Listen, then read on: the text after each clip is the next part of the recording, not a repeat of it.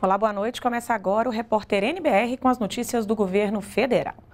Uma pesquisa divulgada pelo IBGE mostra uma tendência na mudança de comportamento dentro dos lares brasileiros. Cada vez mais os homens estão assumindo as tarefas domésticas. Ainda assim, maioria, as mulheres são a maioria nos trabalhos em casa. E também, e também, de acordo com os dados, o brasileiro está mais comprometido com atividades voluntárias. Esta é Esther. Ela tem apenas dois aninhos, mas desde o diagnóstico de hidrocefalia, as idas ao Hospital da Criança no Distrito Federal são frequentes. A mãe conta que os voluntários que trabalham aqui tornam o tratamento da pequena mais leve. Eles ajudam bastante, a gente pede orientação, eles dão. Eles sempre tratam a gente com educação, são super. nota 10 para eles. Sibeli é uma dessas voluntárias. Depois de se aposentar, decidiu procurar uma atividade assim. A ideia era ajudar, mas foi ela quem saiu ganhando.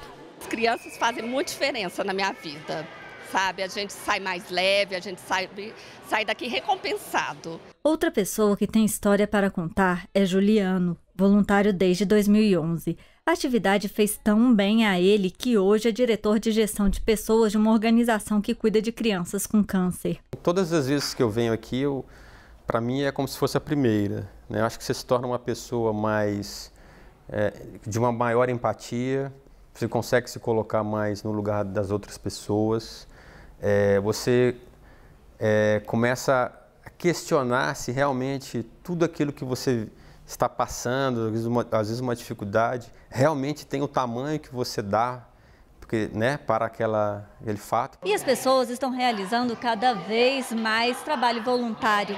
É o que mostra a Pesquisa Nacional por Amostra de Domicílios divulgada pelo IBGE. Em 2017, 7 milhões e 400 mil brasileiros com 14 anos ou mais disseram fazer alguma atividade voluntária, ou seja, 4,4% da população. Segundo a PENAD, Quanto maior o nível de instrução, maior a taxa de realização desse tipo de trabalho. 2,9% das pessoas com ensino fundamental incompleto realizaram atividade voluntária no ano passado. Já entre as pessoas com superior completo, o percentual foi de 8,1%. E as mulheres desempenharam mais esta função do que os homens. A pesquisa do IBGE também mostra que a realização de afazeres domésticos cresceu e que esse aumento foi mais intenso entre os homens. Ainda assim, as mulheres desempenham mais esse tipo de trabalho. Outro destaque foi na taxa de realização de cuidados de pessoas, um aumento de 8 milhões de cuidadores de outros moradores do domicílio ou parentes entre 2016 e 2017, totalizando 53 milhões.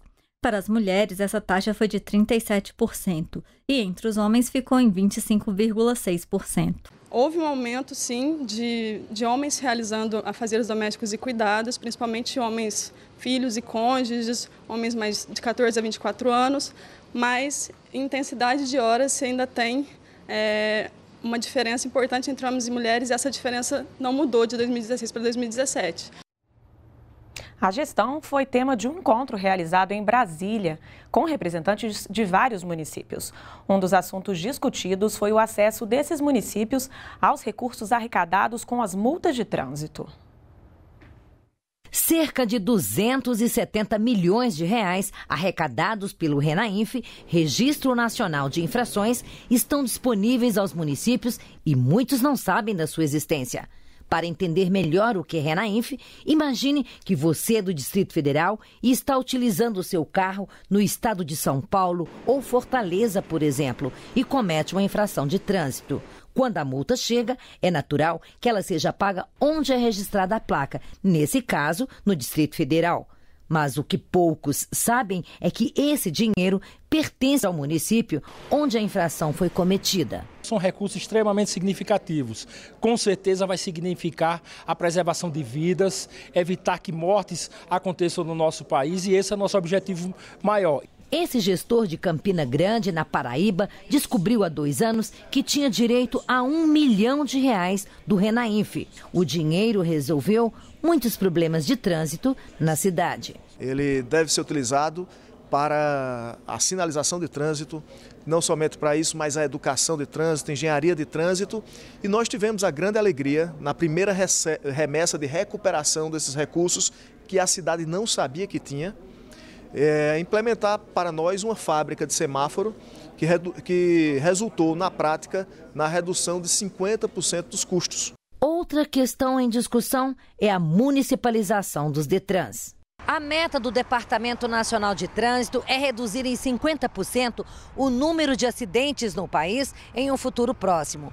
Mas para isso é preciso que todos os municípios brasileiros estejam integrados ao Sistema Nacional de Trânsito. Hoje, apenas 28% deles estão no sistema. Uma vez que o município não exerce a sua função, né, a sua competência estabelecida no código, porque não está integrado, há todo um prejuízo da própria gestão do trânsito, a falta de atuação, a falta de educação, a falta de fiscalização é, nessa, nessas cidades e, consequente, a arrecadação. Os municípios também foram chamados pelo Ministério das Cidades a fazer o dever de casa e implantar até abril do próximo ano o Plano Nacional de Mobilidade. Hoje, apenas 10% das cidades brasileiras aderiram ao plano. O Ministério das Cidades, através da, da Secretaria de Mobilidade Urbana, é, desenvolveu uma, uma ferramenta que vai estar disponível no site do Ministério nesses próximos,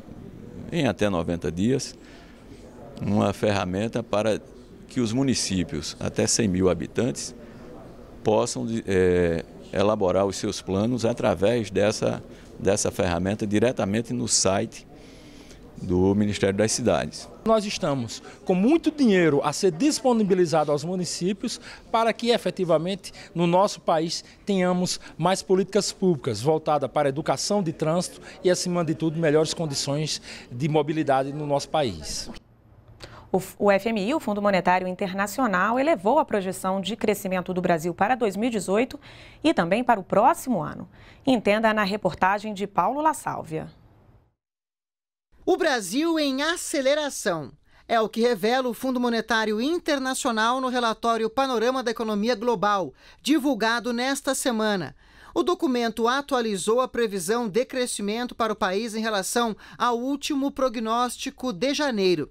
Para 2018, o FMI espera uma elevação de 2,3% da economia brasileira e para 2019 de 2,5%. Segundo o FMI, dois motivos levaram a instituição a revisar as projeções de crescimento para a economia brasileira neste e no próximo ano: o consumo e os investimentos. Dinamizar o próprio negócio é o que Nayane vem fazendo. Ela trabalha com o ramo de floriculturas. Além das vendas em pontos fixos, também prepara decorações para festas.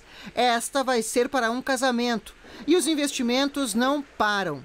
Nayane tem quatro funcionários, sendo o último contratado há um mês e quer abrir uma nova loja. Esse ano a gente vai captar mais informações de mercado, é, vamos fazer algumas consultorias para que a gente possa estar é, tá dando início em 2019 nessa nova loja.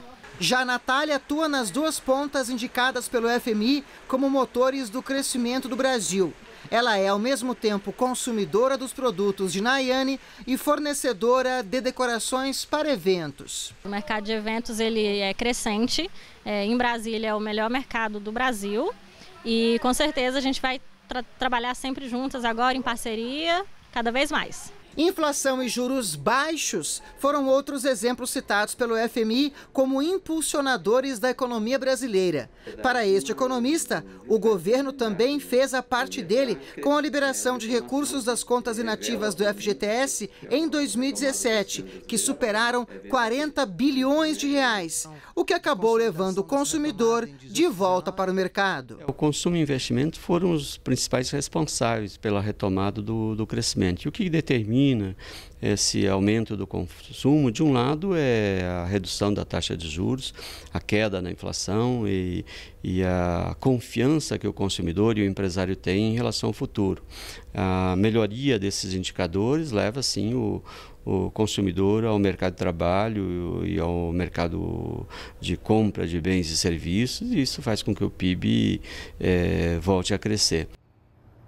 Nós ficamos por aqui. Você pode rever as reportagens no YouTube e toda a nossa programação também está na página da NBR na internet.